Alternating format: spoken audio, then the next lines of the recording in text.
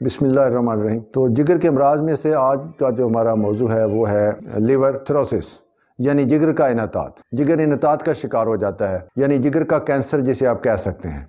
तो ये एक पेचीदा बीमारी है इसकी अलामत कोई वाज नहीं होती इतनी ज़्यादा। तो अब मरीज़ को पता नहीं चलता कि उसका अंदर जो है वो खाया जा रहा है। इस बीमारी में जिगर के जो खुलियात हैं, वो ख़त्म हो जाते हैं। जिगर के जो खुलिए हैं, यानी कि वो उनको नुकसान पहुँचाता, पहुँचता है और उसमें सफ़ेद रेशे पैदा हो जाते हैं। और जिगर जो है ये काम करने के बिल्कुल काबिल नहीं रहता। क्योंकि जिगर जो है ये इंसानी सेहत के लिए इसकी कारकर्दगी जो है ना इसका बहुत ज़्यादा असर और रसूख है। तो लिहाजा जब ये बीमार हो जाता है तो पूरा जिसम जो है ना वो इसकी लपेट में आ जाता है और इंसान की तंदरुस्ती को शदीद ख़तरात जो हैं वो लाक हो जाते हैं। क्योंकि ये क़वत मुदाफ़त का मरकज़ भी है और केमिकल तैयार करने वाली फैक्ट्री है। तो एक जो तोज़न है ना जिसम के अंदर नमकियात का, मदनियात का क़वत मुदाफ़त उस हिसाब से ये सारा सिस्टम जो है ना ये नहायत ख़राब हो जाता है। जिगर का इनतात आसानी से नहीं होता। इसको ख़राब करने के लिए बड़ी मेहनत करनी पड़ती है। यानी मुसलसल आप जहरीली अद्वियात खा रहे हैं या मनशियात का बेतहाशा इस्तेमाल कर रहे हैं और आपके गज़ा में लहमियात की कमी हो गई है। प्रोटीन मुनासिब मकदार में नहीं है। तो जहरीली चीज़ें जो इस्तेमाल करते हैं हम, नशावर चीज़ें जैसे हैं, देर तक मनशियात का इस्तेमाल करना, ये जिगर को ख़राब करती हैं। जिगर को ख़राब करने में एक तवील अरसा लगता है, यानी कुदरत जो है ये इंसान को बड़ी मोहलत देती है इसके बारे में कि वो संभल जाए। लेकिन जब मुसलसल बाद इतदालियाँ इंसान करता है, मनशियात का इस्तेमाल और जहरीली अद्वियात और ऐसी अद्वियात जो गैर मुनासब होती हैं क़वत मरदमी को बढ़ाने के लिए या और ऐसी चीज़ें, कार्टिसोन के मरकबात ज़रूर से ज़्यादा ट्रैंकुलाइज़र का इस्तेमाल। तो ये चीज़ें जो हैं फिर जिगर को ख़राब करती हैं और जिगर एक ऐसा उज़ु है इंसानी जिसम में, एक दफ़ा ये मुतासर हो जाए तो फिर ये आसानी से ठीक नहीं होता। जिगर के ख़राब होने में जो अनासर कार फरमा हैं, इसमें एक ये भी है कि ये जो जिगर और पित्ता की नालियाँ हैं, इसमें जो है ना ये रुकावट पैदा हो जाती है। और इसके साथ साथ जो है, ये तेज़ किस्म की हम मनशियात का इस्तेमाल करते हैं, चिकनाइयों का बहुत ज़्यादा इस्तेमाल करते हैं हम।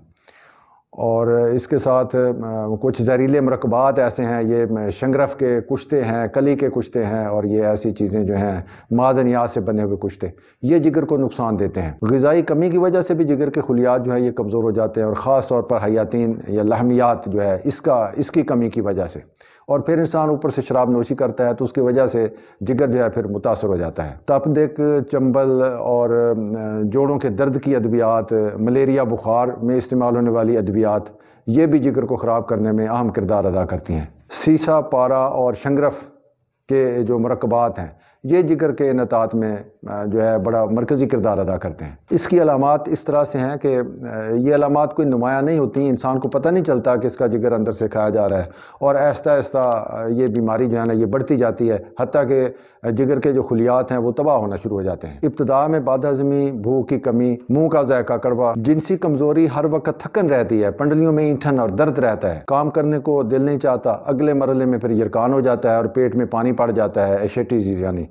जिसकी वीडियो पहले हम दे चुके हैं। खून की कमी के बाद पैरों पर सूजन हो जाती है, असहाल आते हैं, पेट में दर्द शुरू होता है और पेट में बड़ा बोझ सा महसूस होने लगता है। कुलंज की तरह का दर्द हल्का हल्का बुखार और बेजारी, जिगर जो है ये फैलने की बजाय सुकड़ने लगता है। जिसम के निचले हिस्से से बाल गिरने लगते हैं और जिनसी रुझानात में कमज़ोरी आने लगती है। जिसम ढलक जाता है, पूरे जिसम में ये कमज़ोरी जो है ना ये महसूस होने लगती है। खून की कमी, गर्दन, चेहरे और हाथों पर खून की रगें जो है ये नुमाया नज़र आती हैं कमज़ोरी के बायस। हाथ की हथेलियों का रंग जो है ये सुर्ख हो जाता है, बगलों के और जेर नाफ बाल गिरने लगते हैं। सर गंजा हो जाता है और गोश्त ढलकने लगता है। गर्ज के कमज़ोरी दूर से नज़र आती है कि ये जो है ना, ये शदीद किसी मर्ज़ का शिकार है ये बंदा, ये नज़र आता है वाज तौर पर। इसकी तशखीस के ये तरीके हैं कि खून में पाई जाने वाली जो सुर्ख जसीमें हैं सुर्ख ज़रात हैं, इनकी कमी वाक़ हो जाती है। ई एस आर बढ़ जाता है, खून के सफ़ेद दाने जो हैं, सफ़ेद जरसीमें ये कम हो जाते हैं और खून में एल्ब्यूमन की मकदार कम हो जाती है। खून में एल्ब्यूमन की मकदार तंदरुस्त आदमी में तीन अशारिया पाँच ग्राम फ़ी, सौ सी सी होती है, जबकि इस मरीज़ में ये मकदार जो है ना, ये कम होकर दो अशारिया छः ग्राम फ़ी सौ सी सी तक आ जाती है। इस बीमारी की तशखीस में अल्ट्रासाउंड को बड़ी अहमियत हासिल है। इससे दिल की झिलियों का और जिगर की जो बनावट साख्त है, इसका हमें अंदाज़ा हो जाता है। फैली हुई तीली नज़र आती है। दिल की झिल्लियों में अगर पानी पड़ जाए तो ऐसी अलामत जिगर के निज़ाम खून में जो है ना, दौरान खून में रुकावट जो है ना, ये ज़ाहिर करती है। एक्सरे के ज़रिए खून की नालियों में जमात और ठहराव नज़र आ जाता है। एटम के ज़रिए तशीस के तरीके जो हैं, इस सिलसिले में बड़ी मुफीद मालूम हमें मुहैया करते हैं। ये जिगर के साइज़ और इसकी कारकर्दगी के बारे में नहायत उमदा किस्म की मालूम हमें देते हैं। इसका इलाज यह है कि नमक बंद कर दें, मरीज़ जो है या ना ये बिस्तर पर लेटा रहे, इसको मुकम्मल आराम दें। ताज़ा फल, सब्ज़ियाँ, परिंदों का गोश्त और फल जो है ना, ज़्यादा से ज़्यादा इसे खाने के लिए दिए जाएँ। खून की कमी पूरी करने के लिए फुलाद के मरकबात दिए जाएँ। जिगर को नुकसान देने वाले जो चीज़ें हैं, वो बिल्कुल बंद कर दी जाएँ। मरीज़ को मुकम्मल आराम दिया जाए। पेट से पानी निकालने के लिए पेशाब, आवर अद्वियात दी जाएँ और बेहतर यह है कि मरीज़ की अगर हालत ज़्यादा ख़राब है तो उसे अस्पताल में दाखिल कर दिया जाए। तंदरुस्ती की हालत में खून में बेलीरोबन की मकदार जो है ना, ये सौ सी में एक ग्राम से कम रहती है। अगर किस, अगर किसी वजह से ये मकदार जो है, बिलीरूबन की मकदार जो है ना, ये एक से बढ़ जाए और एक अशरिया पाँच मिलीग्राम फ़ी सौ सी तक पहुँच जाए तो फिर ये जो है ना सफरा की जो ज़्यादती है, ये ज़ाहिर करती है। और ये जिसम को पीला रंग देती है, बिलीरूबन की ये मकदार जो है, जो बढ़ जाती है। यह जिगर की ये सोजश को ज़ाहिर करती है। इसका मतलब ये है कि खून में, जिसम में जो है सफरावी रंगों की मकदार जो है ना, वो बढ़ गई है। और ये जिगर की सोजिश की निशानदेही है। अगर किसी बीमारी की वजह से खून में सुरख दानों की जो तबाही है वो शुरू हो जाए तो फिर जिगर में दौरान खून का निज़ाम जो है ये दरम बरम हो जाता है। नुजायदा बच्चों में ये मर्ज जो है ना, ये खून के मसाइल, जिगर में पैदाइशी रुकावट के अलावा वालदेन के, वालदेन में मूर्सी आदशक की बीमारियों की निशानदेही करती हैं। जो लोग गुर्दों की खराबी की वजह से गुर्दों की डॉलेंसिस के अमल से गुजर रहे हों माने हमल गोलियों का इस्तेमाल और कुत मरदमी बढ़ाने के लिए अद्वियात का इस्तेमाल, सल्फामाइड की गोलियाँ, शंगरफ के कुश्ते और कली के कुश्ते, जिगर की खुलियात की तबाही के ज़िम्मेदार हैं। जिगर मुतासर होने के असरा दिल पर भी ज़ाहिर होते हैं, इसलिए ज़रूरी है कि मरीज़ जो है मुकम्मल तौर पर आराम करें। मरीज़ को ताज़ा फलों के जूस दिए जाएँ कम्पलान का सफूफ दिया जाए क़वत मदाफ़त बढ़ाने पर भरपूर तवज्जो दी जाए। चिकनाई बंद कर दें इसके लिए। विटामिन बी और सी की गोलियाँ मुफीद हैं और जेटी पावर सिरप जो है वो वक्त की इस मर्ज़ में ज़रूरत बन चुका है। परहेज़ और मुकम्मल इलाज के साथ तकरीबन तीन माह लग जाते हैं और मरीज़ जो है वो तंदरुस्त हो जाता है, बशर्ते कि इसकी खुराक पर, इसके अद्वियात पर, इसके आराम सुकून पर और परहेज़ पर पूरी तवज्जो दी जाए। तब यूनानी की हम बात करें तो उसमें यह है कि बहुत सारी अद्वियात हैं जो कि इस मर्ज़ के लिए कारगर हैं। अगर परहेज़ किया जाए और साथ इन अद्वियात का इस्तेमाल किया जाए तो मरीज़ तंदरुस्त हो सकता है। इतबा कदीम ने अंदरायन बकैन मेथी चटचट्टा आलू बुखारा, इमली, तबाशीर, मनक्का, खजूर बही यानी सफ़रजल, अनार, शरबत बजोरी, शरबत दिनार। इनके मरकबात शरबत या मुरबा जात इस्तेमाल करके और साथ परहेज़ करके मरीज़ों की कसर तादाद को तंदरुस्त किया है। और इन अद्वियात से उमदा नतज जो हैं वो बरामद हुए हैं। इन अद्वियात के साथ साथ गज़ा और परहेज़ जदीद जो इल्म है, उससे हासिल कर लिया जाए।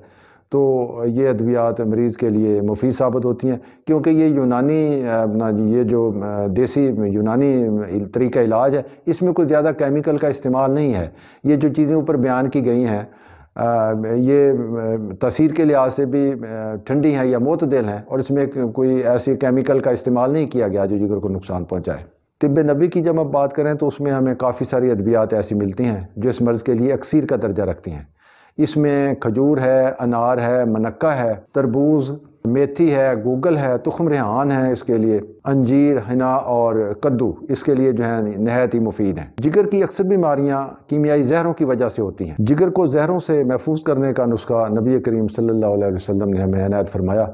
आपने फरमाया कि जिसने सुबह उठकर उजवा खजूर के साथ दाने खाए तो वो सारा दिन जो है ये उस पर जहर और ये जो जादू है, वो भी असरअंदाज नहीं होते। एक और रवायत में आया कि आप सल्लल्लाहु अलैहि वसल्लम ने फरमाया कि उजवा खजूर खाओ, इसमें शिफा है। ये जहरों का त्रियाक है। जरकान की वो किस्म जिसमें सफरा लाने वाली नालियाँ जो हैं, इसमें रुकावट आ जाती है या कुलंज हो जाता है तो खजूर इसका बेहतरीन हल है। खजूर खाने से कुलंज नहीं होता। जिगर को शराब और जहरों के असरा से बचाने के लिए खजूर जो है, ये एक लाजवाब तोहफा है। जब जिगर में इनताती अमल शुरू हो जाए और यानी सोरेसिस होने लगे तो इसके लिए फिर अंजूर अंजीर जो है ना, ये एक लाजवाब चीज़ है। मशहूर हकीम इबन बेतार कहते हैं कि जब जिगर जो है वो सुकड़ना शुरू हो जाए तो इसके लिए अंजीर जो है नहायत ही मुफीद है। अंजीर खाने से सुकड़ता हुआ जिगर जो है ये नॉर्मल होने लगता है। गैर इरादी उजलात के सिरे खोलने के लिए नबी पाक वसल्लम ने मनक्का तजवीज़ फरमाया है। आप सल्लल्लाहु अलैहि वसल्लम ने फेफड़ों फेफड़ों के लिए उसके अजलात को तंदुरुस्त रखने के लिए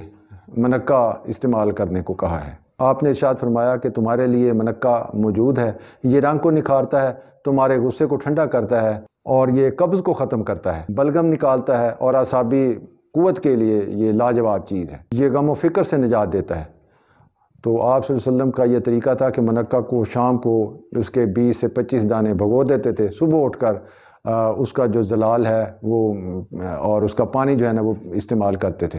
तो आपने फरमाया कि इसके जो बीज हैं इसमें बीमारी है। लिहाजा इसके बीज निकाल कर फेंक दिए जाएँ और इसको अच्छी तरह धोकर एक कप पानी में 20 से 25 दाने जो हैं भगो दें। सुबह निहार उठ कर जो है इसको खा लें और वो पानी पी लें। जब वायरस की वजह से जिगर में सोजश हो तो दूसरी अद्वियात के साथ साथ मेहंदी के पत्ते शामिल किए जाएँ। ये मेहंदी के पत्ते पीस कर दो से पाँच ग्राम तक ये सुबह शाम जो है ना मरीज़ को दिए जाएँ। नहायत तकसीर है। मेहंदी के पत्तों का ये सफूफ, जिगर में जो वायरस है, जो इसको नुकसान पहुँचा रहा है, उसको हलाक कर देता है। इबन बतार कहते हैं कि इमाम बुखारी ने फरमाया कि अल्लाह ताला को सबसे ज़्यादा प्यारा दरख्त जो है ना, ये मेहंदी का है। ये हदीस नबी पाक वसल्लम ने बयान फरमाई है। मुहदस मोहम्मद अहमद जैबी कहते हैं कि, मेहंदी का पानी पिलाने से कोड़ का मर्ज़ जो है, ये भी ख़त्म हो जाता है। मेहंदी नहायत मुसफ़ी खून है। इतबा कदीम कहते हैं कि, मेहंदी का मेहंदी के पत्ते पानी में भगो दें। सुबह उस पानी में शक्कर में लाकर पिएँ तो ये यरकान का एक लाजवाब इलाज है। ब्रिटिश फार्माकोपिया में मेहंदी के पत्तों को मैदा के अल्सर के लिए अक्सर बताया गया है। इतबा यूनान, चीचक के मरीज़ के लिए मेहंदी के पत्तों, पत्ते जो हैं ये इस्तेमाल करते थे। हमने खुद आंतों के जो मरीज़ हैं, उनके इलाज के लिए मेहंदी के पत्तों का सफूफ जो है ना ये साथ शामिल किया तो नहायत ही उमदा नतज जो है ये बरामद किए हैं। गले और मसूरों की सोजिश के लिए मेहंदी के पत्ते जो हैं पानी में इसका जो छंदा तैयार करके इसकी कुलियाँ करने से बिल्कुल ये मर्ज़ जो है ना, ये मसूड़ों की तकलीफ़ वगैरह, ये ख़त्म हो जाती है और गले की खराश ख़त्म हो जाती है। हज़रत अब्दुल्ला बिन अब्बास रवायत करते हैं कि तुम, नबी पाक सल्लल्लाहु अलैहि वसल्लम ने शाद फरमाया कि तुम्हारे लिए कासनी मौजूद है और कोई ऐसा दिन नहीं गुजरता जब जन्नत के पानी के कतरे इस पर ना पड़ते हों। इतबा कराम ने जन्नत के पानी वाले कतरों की बात को इतनी अहमियत दी है कि उन्होंने जब भी कासनियों को इस्तेमाल किया तो इसको धोया नहीं है, इसको वैसे ही इस्तेमाल किया है। इतबा कराम की पुरानी ब्याजों से हमें ये पता चलता है कि जिगर की बीमारियों के लिए जो, ये कासनी के पत्ते हैं, ये नहायत ही अक्सर पाए गए हैं। पुराने दौर से इनका इस्तेमाल जो है ना, ये हो रहा है। और अर्क मकू इसका इस्तेमाल भी जो है ना हमारी पुरानी ब्याजों में मिलता है और आज भी ये इस्तेमाल हो रही है। नबी करीम सल्लल्लाहु वसम खजूर, मनक्का या गूगल को रात को पानी में भगो देते और सुबह उठकर उसका ये पानी नोश फरमाया करते थे। इनमें से हर एक जिगर की बीमारियों में अक्सर का दर्जा रखता है। जिगर से मुतासर मरीज़ों के लिए खरबूजा, तरबूज, आलू बुखारा, अनार, केला और खीरे, ये बेहद मुफीद चीज़ें हैं।